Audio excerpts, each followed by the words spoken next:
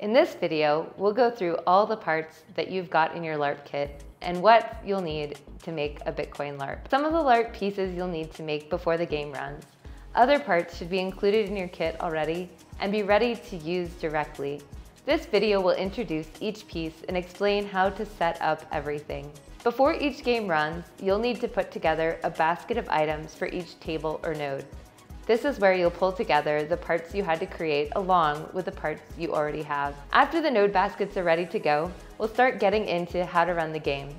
The game is divided into five phases and we'll walk through each phase individually.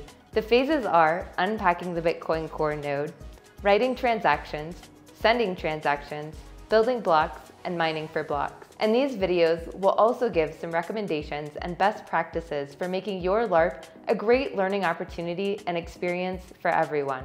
That's everything we'll need to talk about. Let's get into it.